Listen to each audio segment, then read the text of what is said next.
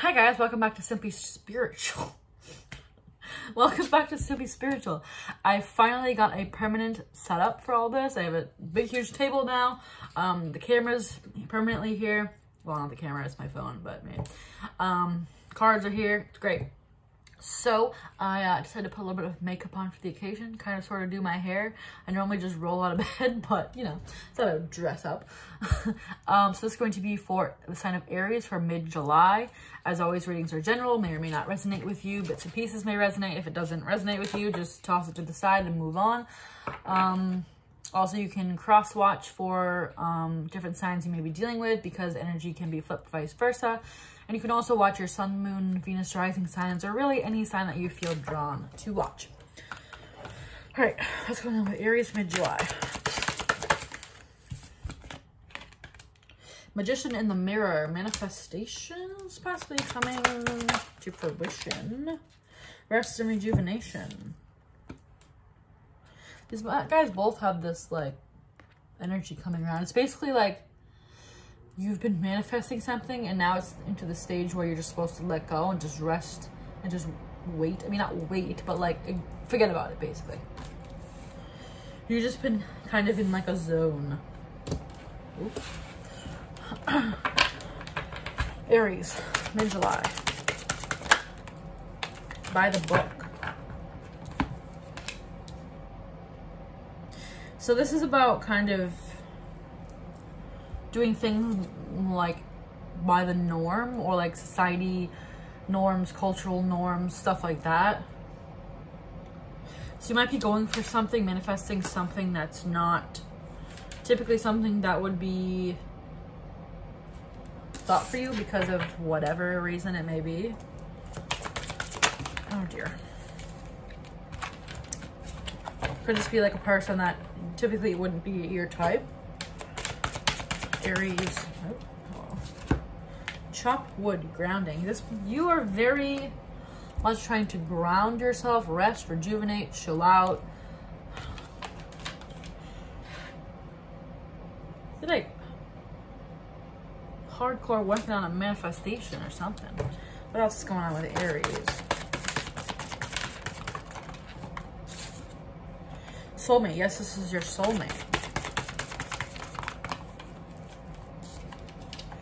Love yourself first. Your self-respect makes you more romantically attractive. So, this is the thing. Like, if you want to manifest something, you first have to be in a good energy, right? So this could have to do with the rest and rejuvenation and the chop wood, which is about grounding yourself. You have to be in a good mindset, especially if you're kind of trying to manifest something that's not by the book, that's not something um, that people think that you should have, or maybe it's something a little goes a little bit out of reach. If you don't ground yourself and kind of believe that that thing can come to you, then it won't basically. But like, anyway, something, something about manifesting something and then kind of grounding yourself so that it can come in. I mean, we have soulmate cards, so probably is regarding a person. Doesn't be romantic though. Soulmates can be friends.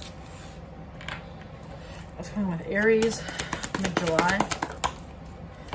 Six of, six of Wands. This is a victory. This can also be something public.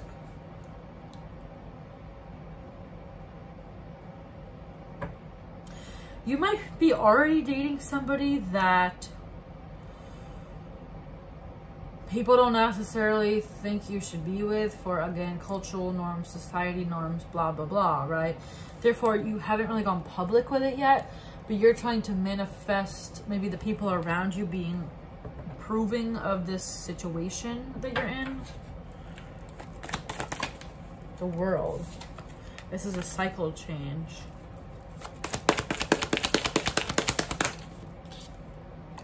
Ace of Wands, passionate new beginning.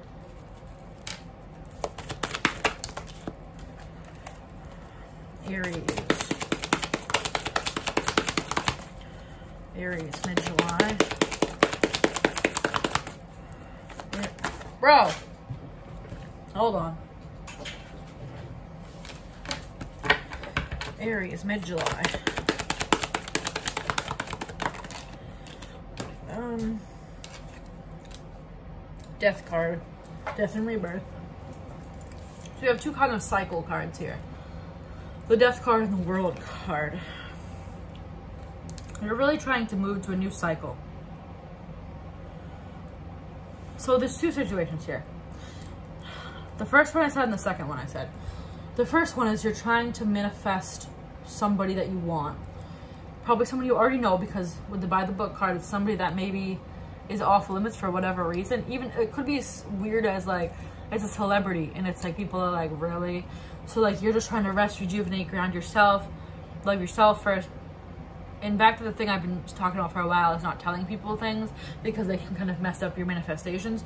So either it's something you want something that's a little bit off limits, a little bit unusual for you, or you're already with this person but you're not public about it and you want people to accept it. Okay. Why is the Six of Wands here?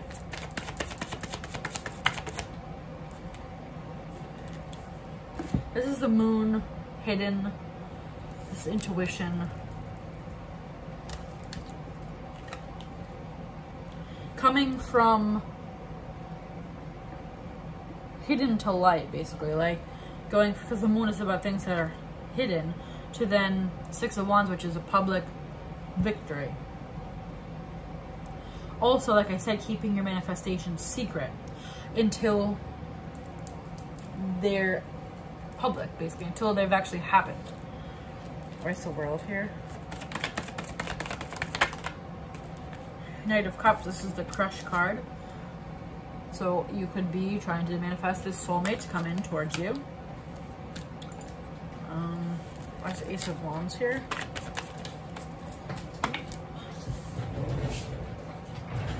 Four of Wands. This is a Twin Flame card. This is the 1111 card.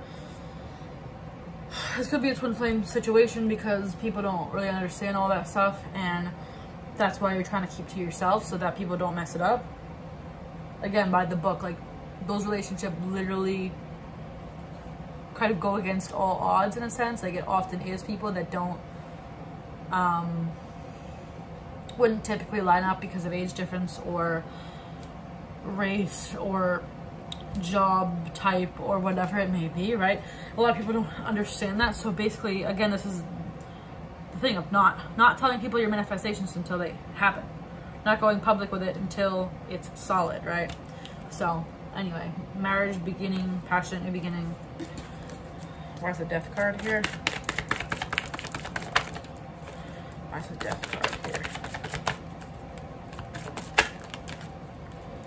here? Ace of Pentacles. So it's definitely a cycle. Something ends for something else to begin. A cycle ends. It doesn't have to be something ends with a particular person, but some form of cycle ends to bring in a new beginning. We have a stable new beginning here with the Ace of Pentacles. So we also have, we have two aces here. We have the Ace of Wands and the Ace of Pentacles.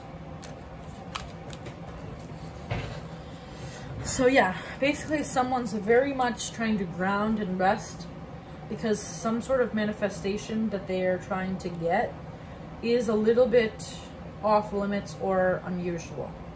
And they really feel the need to basically go into hermit mode until that thing comes in because they don't want anybody to get into their energy field regarding this situation.